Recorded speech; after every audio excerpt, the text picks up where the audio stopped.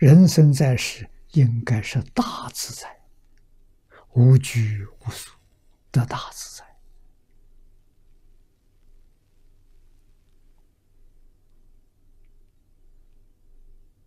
啊，得大自在的真的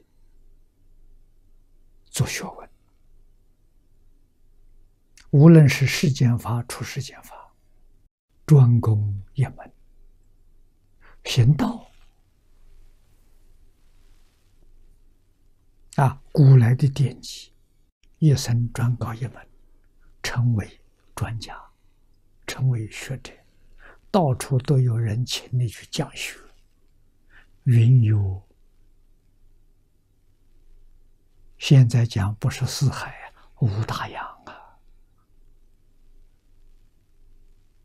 啊，这个自在呀，这很快乐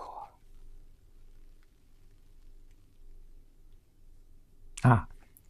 佛法是好东西啊，啊，学一部经。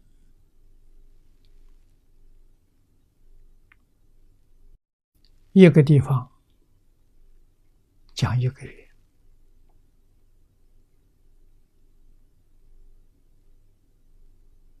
就走了；换一个地方再讲一个月。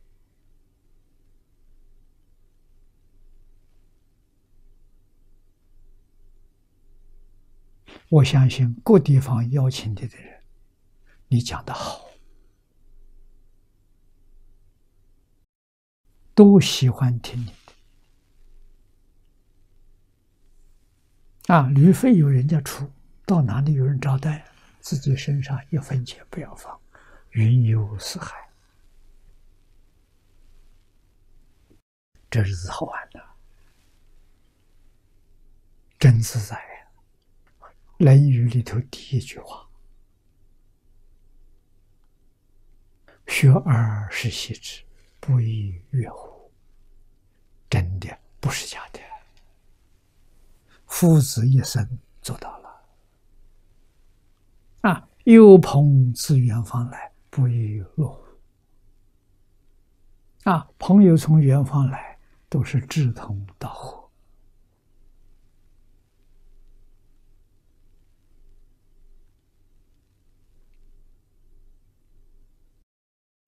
不亦乐乎是内心的发喜，与外头境界不相干。内心发喜充满，啊，志同道合的朋友来访问，快乐啊！啊，德不孤，必有邻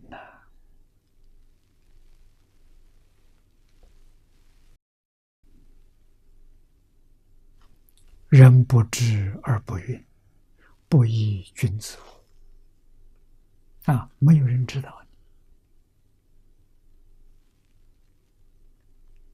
你，你活得很快乐、很自在。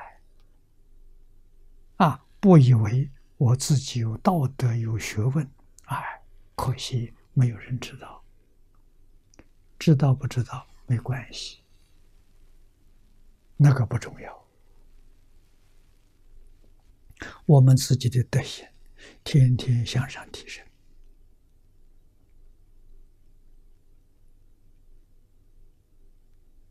啊，天天都有小悟处，非常快乐。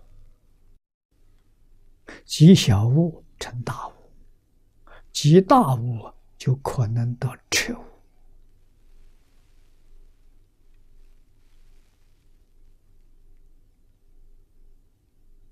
啊，每一天读经，跟佛菩萨相聚啊！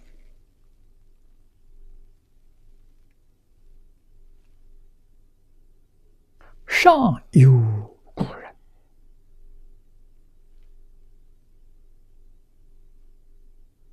跟古人做朋友。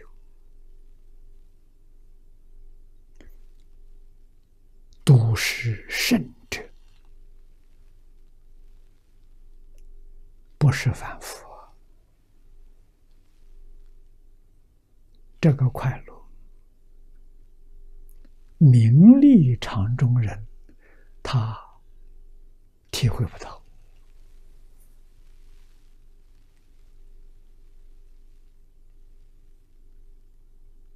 啊真正读书人。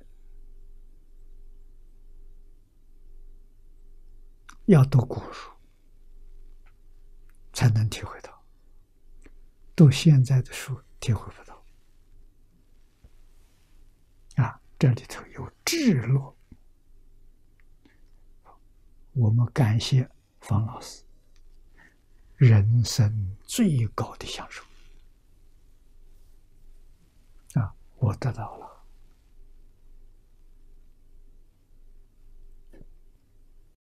这个与地位不相干，与名利不相干，与财富不相干。